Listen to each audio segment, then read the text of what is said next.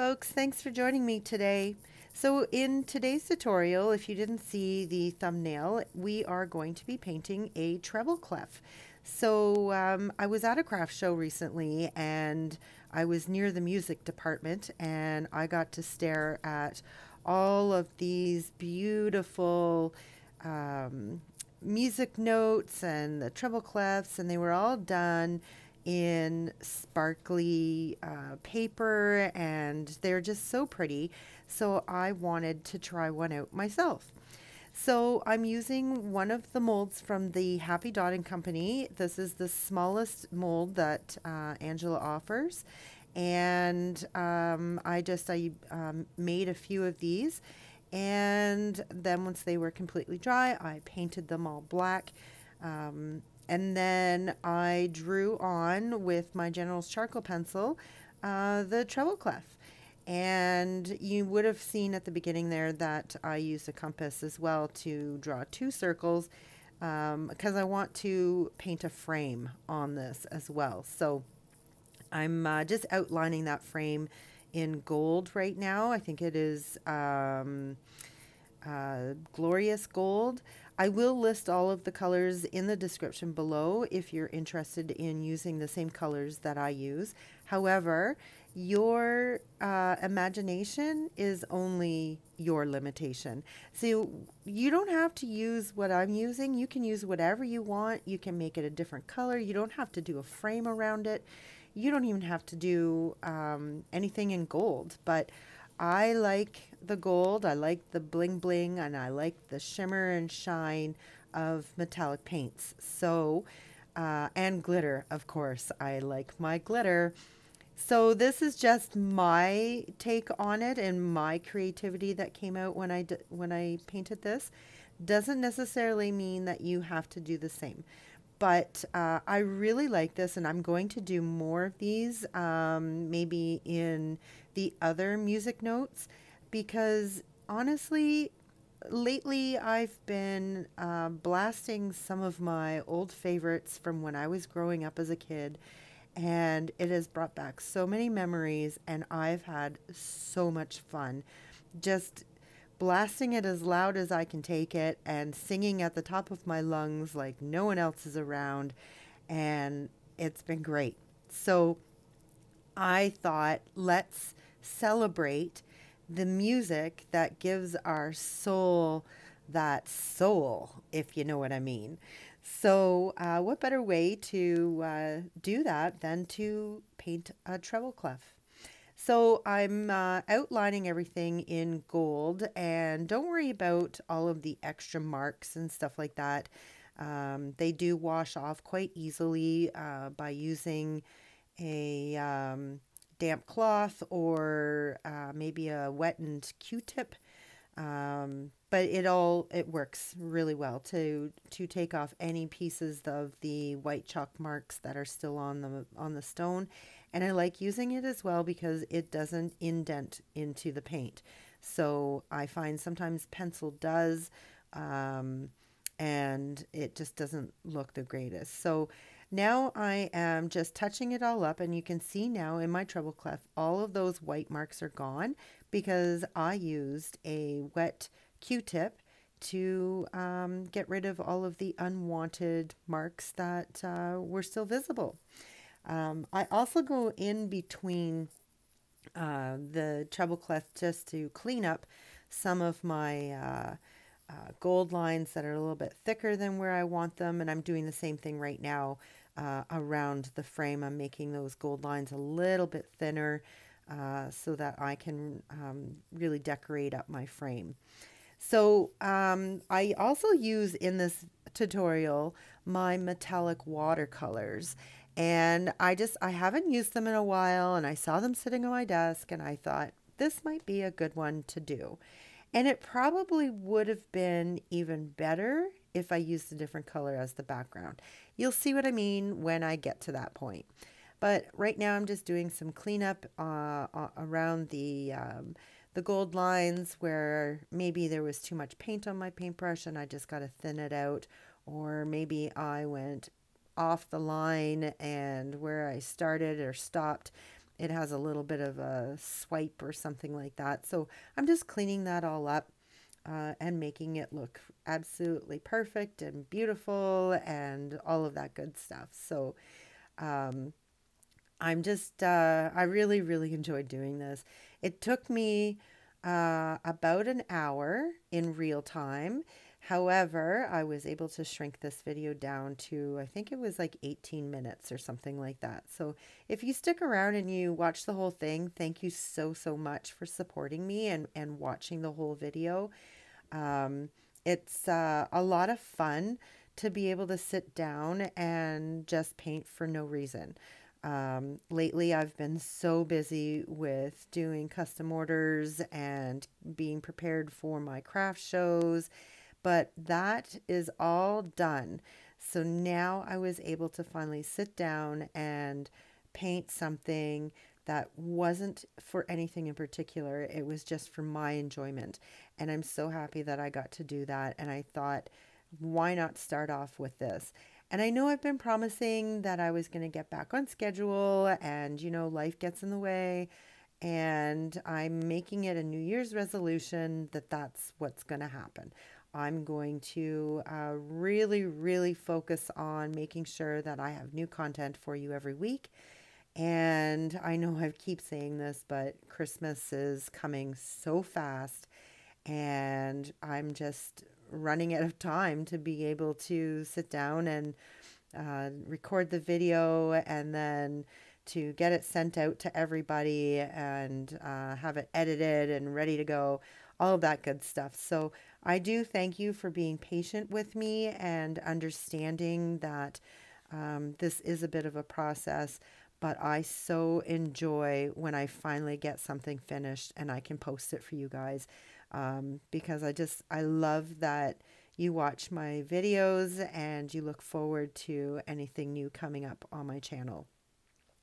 I also have a lot of things that I've been doing on my Facebook page. I've been a little bit more active there than I have been uh, here on YouTube. Um, so we just had a contest um, and it was just basically to spread some good cheer and uh, I offered up um, a $40 surprise pack.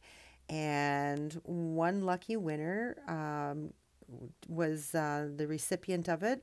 I don't know if she has received it yet or not, but um, with the mail the way that it is going right now because of all of the packages that are rushing all over the world, um, I'm really hoping that uh, she gets it before Christmas. But I loaded it up with a lot of my um, unseen uh, tutorials and things like that. So I really hope that she enjoys it. So I thank everybody who participated, who was over on my Facebook page. And uh, like I said, um, head on over there. I have a lot more postings there than I have been able to do on um, YouTube. So if you haven't already been over there, just clink the uh, clink just click the link in the description below and uh, it'll take you straight to my Facebook page and um, it'll ask if you want to be a member and there is a question that's involved but it's rather simple so just answer the question and um, then you'll be able to see all of the content and stuff that I have over there. So as I've been yapping away about my Facebook page, um, I've been putting on some watercolor. Now this is a bronze color. It's metallic. Um, I've used these metallic colors before, um, but I'm wishing now that I had of used maybe a brighter color um, because this just sort of, it gets lost in the background and I know it is the background, but I just wish I had something that was a little bit more of a brighter color. So this was a trial and error on my part. Um, and I still made it work. It still looks really beautiful. Don't get me wrong. Like the, the color uh, just didn't seem to work um, with my finishing touches on the treble clef. However, if I left it like this, so beautiful. Absolutely. And maybe that's something I should have done was just left it alone and left it like this. But I sometimes go a little bit overboard and I've got to do more. So I'm now putting on a white pearl uh, um, watercolor. It's also part of the metallics that I used. And now I'm just going in with a very th- very fine, I'm having trouble talking today, um, a very fine uh, lining brush. And I made this myself. I do have a tutorial on how to do this. It is also listed in the description below. Um, and I'm just putting a very, very thin black line onto the stone that separates the background and my frame. So I do this all the way around because I really want that frame to stand out from the actual background itself of the treble clef. So that's what I'm doing here. And uh, it does take a little bit of patience and a little bit of practice, but you know what? Um, you just keep working at it, and next thing you know, you're you're whipping these off like nothing. So um, it took me a little while to learn how to be sort of a. You almost have to have a very light touch in order to get uh, this very fine line and make sure that your brush is cleaned quite often because the paint flows a lot better and make sure your paint um, is also uh, fresh out of the bottle because I find that if you've left something in your paint tray even for um, like 10 minutes and it's already starting to dry so it thickens up. So just add a little bit of water and you're good to go. So I'm doing the other side of that gold line as well in the black uh, fine line just again to separate uh, the two uh, colors and to really make it pop and make it stand out. So uh, another technique that I'm going to be using in this tutorial today is I'm going to be using a nail gel top coat and a UV light and we're going to put some uh, powder on it, uh, some nail powder.